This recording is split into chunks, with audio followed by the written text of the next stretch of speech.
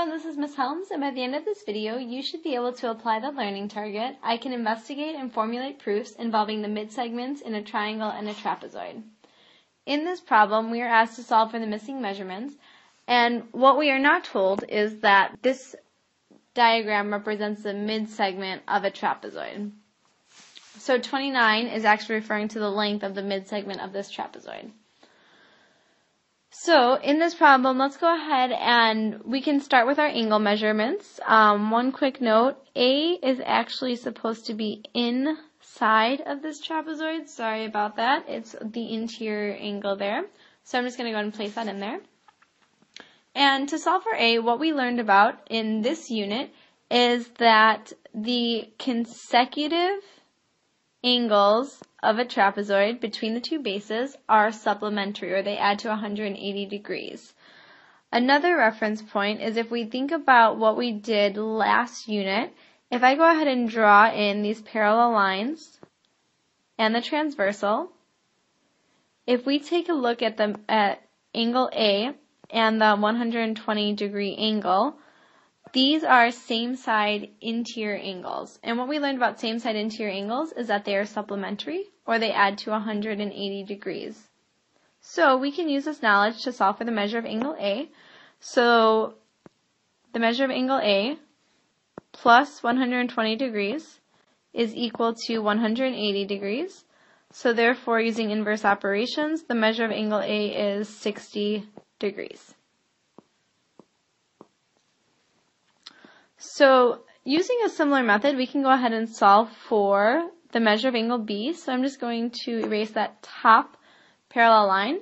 Um, what we learned about with midsegments of a trapezoid is that the midsegment is also parallel to either base. So I'm just going to redraw the parallel lines that we have. So if we um, focus on these two parallel lines and the transversal, we can see that B and 120 are actually corresponding angles, which means that they have the same measurement, which is something that we learned in our previous unit. So therefore, the measure of angle B has to be 120 degrees, since they are corresponding angles. Next, we're going to go ahead and solve for some of the missing side lengths. So what we learned um, about a mid-segment of a trapezoid is that it is the segment that connects one midpoint to another midpoint of the sides of a trapezoid. So therefore, if um, on this left-hand side, if we have a midpoint here, we know that each of these pieces are congruent. We also know on the right-hand side we have um, two pieces that are congruent. So using this, we can solve for both z and y. So for z, we know that each piece is congruent. So we have actually two z's here, one on top, one on bottom. So we know that 2z is equal to 13.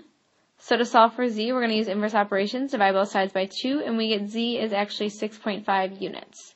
Then, taking a look at y, well, if 11 and y have the same measurement, since we have a midpoint there, therefore y has to equal 11 units because of the midpoint.